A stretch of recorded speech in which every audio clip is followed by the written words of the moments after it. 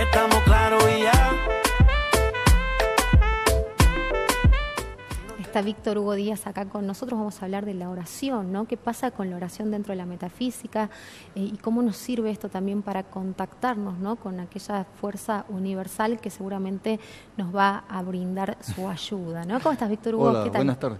Sí, este, bueno, pueden ir pasando la placa, aquí pusimos la oración cambia las Ajá. cosas. Es, ¿no es cierto?, continúa siendo los temas que estábamos tratando la... Con Zulma y con con vos. Zulma, entonces Ujú. cómo contactar, el, habíamos hablado del ser interno. Para que ese ser interno se, digamos, se comience a manifestar en nuestra vida, uno debe practicar, digamos, acercarse a lo que uno llama la presencia de Dios. Claro. Entonces, podemos pasar, entonces uno dice, la oración cambia las cosas, bien, ¿qué es lo que cambia? No cambia, uno mucho dice, yo oro o hago una oración y me da, digamos, ganas de realizar cosas, me fortalece, me da este, como voluntad. No solamente hace eso la oración, sino que cambia las cosas, quiere decir que puede transformar, digamos, situaciones. Entonces, uno dice aquí una definición, cada vez bueno, que piensa uno en Dios, uno está orando. Entonces, llámese ese acto oración o no. ¿Qué significa eso? Que si uno piensa en Dios, agarra un libro, digamos, espiritual, eh, agarra un versículo de la Biblia o medita, uno se está acercando, ¿no es cierto?, digamos, a esa presencia de Dios.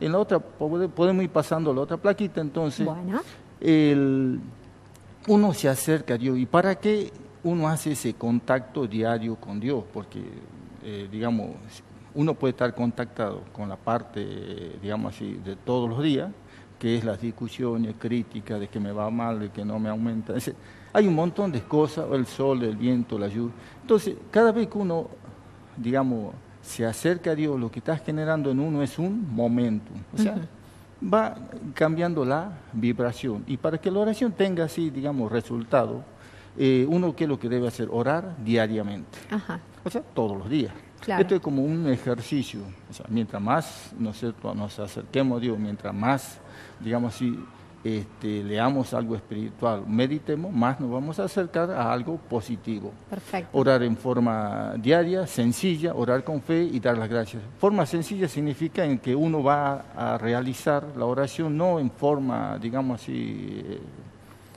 en forma sencilla con las palabritas de asentado. ¿Mm?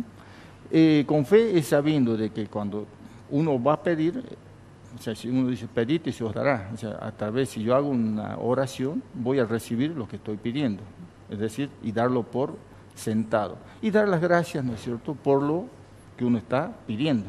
Entonces, en la próxima plaquita uno dice principios, eh, forma de orar, ¿cómo lo vamos a hacer la oración? Pensar en Dios. El pensar en Dios significa que uno va, eh, digamos, uno tiene concepto de lo que es Dios. O sea, uno va a pensar en la naturaleza de Dios, de lo que uno tiene.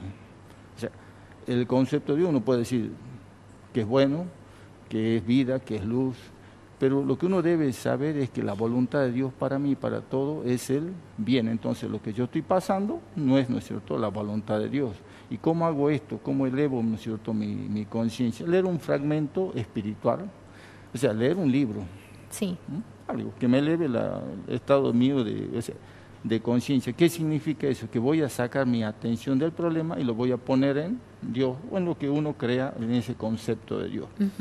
Esto va de la mano de que no solamente vamos a leer, tenemos que perdonar a quién, a todo lo que uno crea que no hicieron algo malito y perdonarnos a uno mismo. O sea, Claro. el perdonar y el el perdonar y el perdonarse nos quita a nosotros, eh, digamos así, peso de la mochila que estamos cargando Bueno, y el agradecimiento. En la, en la próxima, ¿no es cierto?, tenemos el cómo hacer de que una oración tenga eh, una manifestación. O sea, cómo, o sea, digamos, ya llevarlo a la práctica. Sí. Entonces, permanecer solo y en silencio significa de que uno va a comenzar ahora, puede ser en un, no sé, en, una- en un lugar donde no nos estén molestando llevar nuestra atención a la presencia de Dios, es decir, sacar la atención del problema y llevarlo, ¿no es cierto?, a, a la a lo que uno llama presencia de Dios dentro, ¿no es cierto?, la actividad metafísica, que es Dios dentro de nosotros. Demandar lo que necesitamos, dar las gracias y mantener la armonía interna. Es decir, Perfecto. lo que nosotros estamos practicando aquí es la oración científica, no es la oración, digamos así, de la parte emotiva. La oración científica nos dice, eh, usted quiere solucionar algo, lleve la atención a Dios y quite la atención del problema. Nada más que mientras uno más afligido se encuentra, digamos, más, más lleva la atención al problema. Claro. Entonces, eh, lo que parece sencillo en palabras es, ¿no es cierto?, un poquito, no, no le digo difícil, pero nos va a llevar un, un, poco porque no estamos habituados a llevar nuestra atención, digamos, a algo positivo. Claro.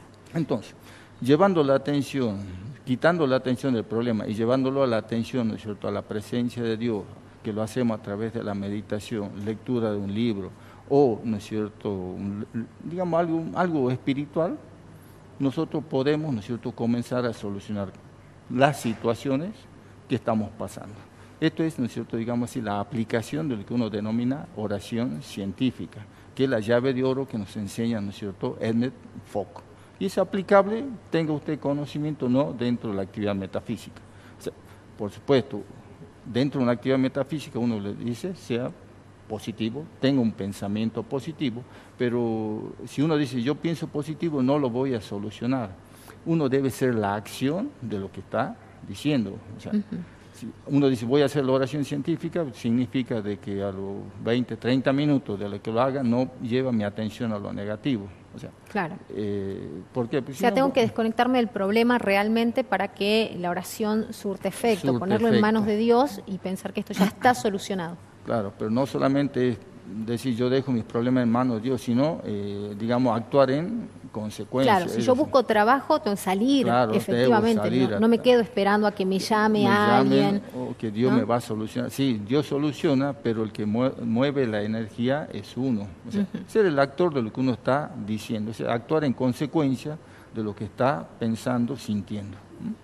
Entonces, eso es, digamos, lo que, no, lo que nos comienza a solucionar situaciones.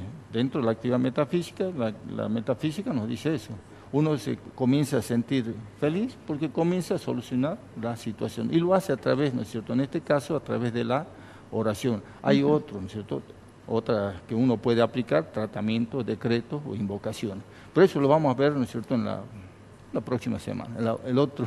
Bueno, eh, en otro segmento. Víctor Hugo, ¿cómo hacen para ir a las actividades de metafísica? ¿A dónde los pueden encontrar? ¿Qué días están disponibles? Bueno, las actividades se dan, digamos, en forma regular, eh, los días martes, los días jueves, los días viernes y los días sábados, donde en, ¿no es cierto?, Mitre 37, que es la galería, el Palacio Galería, Mitre 37, primer piso. Además, ¿no es cierto?, nos van a encontrar dentro, ¿no es cierto?, de las redes sociales, Facebook, uno pone Escuela Metafísica de Salta y ahí, ¿no es cierto?, salen, digamos, las, digamos, las actividades del día y los facilitadores que dan, ¿no es cierto?, dichas actividades. Entonces, uno puede, bueno, los horarios son los martes a las 6 de la tarde, jueves a las 20 horas, viernes a las 20 horas y los sábados, ¿no es cierto?, a las 18 horas.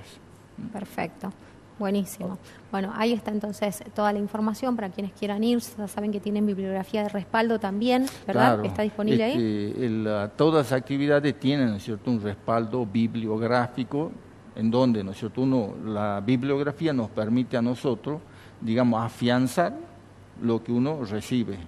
Es como una, es como uno hacía en un secundario o en la universidad, o sea, va, toma las clases, pero este, digamos, es una enseñanza científica, o sea que es práctica. Uno dice, la oración tiene poder, sí, es poderosa, pero ¿qué es lo que debe hacer uno? Ponerla en práctica. Y hay, ¿no es cierto?, bibliografía que respalda esto. Esto, lo que hablamos de la oración, está en el libro Pilares de Metafísica y en el librito Resuelve tu problema de Edmund Fox. Buenísimo, muchísimas gracias Víctor Hugo. Nosotros vamos cerrando el programa el día de hoy. Te agradecemos por supuesto que nos hayas acompañado en esta jornada y recuerda que la cita es mañana a partir de las 16. Chau, chau.